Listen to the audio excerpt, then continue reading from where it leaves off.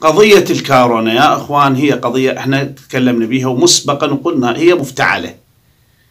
هسه حتى لو كان هي مفتعلة حتى لو كانت قضية الكورونا مفتعلة أصبح وباء.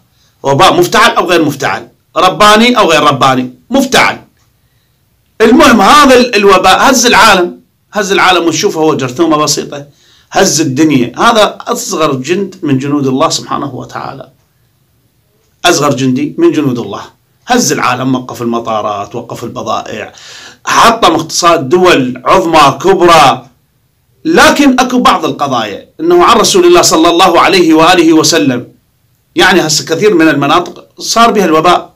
صار مثلا بإيران صار بسوريا صار بالسعودية صار بالصين. رسول الله خلى لنا قاعدة وهي القاعدة يعني الفقهية.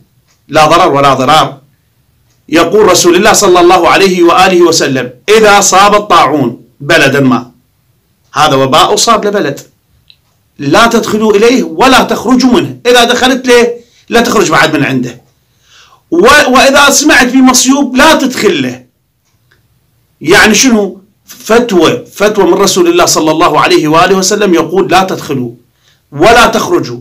والفار من الطاعون أو فار من ذلك الوباء كالفار من الزحف. الفار من الزحف شنو يعني؟ اللي فار من المعركة. عند رسول الله صلى الله عليه وآله وسلم من الذنوب الكبائر. يعني اللي يهرب من المعركة يعني ضد الكفار في جيش المسلمين تسمى زحف. وهذا الزحف يقول رسول الله الفار من الوباء كالفار من الزحف. يعني أنت تاخذ أمراض مال بلاد وتنقلها لغير بلاد ما يصير. يعني أنا من بلاد العراق واليوم موجود الوباء بالعراق. واشرد على إيران. أفرن لإيران أشرد من هذا المرض. طبعا أنا أروح منها ملابسي جسمي ملطخ بهاي الاوبئه بهاي الجراثيم. راح أدخل البلاد الثانية راح أصيبها. فما يصير إنه أنت تحاول تصبر على هذا المرض إنه لا تطلع من المنطقة اللي بها الوباء ولا تدخل إليها. يعني إذا طلعت من عندها أنت محاسب أمام الله. وإذا دخلت لها لازم بعد ما تطلع. والصابر على هذا المرض اللي يصبر على هذا المرض يحسب إذا مات يحسب حساب الشهيد. هسه إحنا ابتعدنا عن سنة رسول الله. وداعتكم ابتعدنا عن سنة رسول الله. يعني في ذاك الوقت رسول الله شو يقول؟ يقول يعني احجروهم حاجر. يعني قاعد كل منطقة منطقه هسه إحنا ما يصير هيجي. البلاد مفتوحة على مصراعيها. المحافظات مفتوحة على مصراعيها يعني اليوم البصرة جزاهم الله خير سدوا الطرق. سدوها.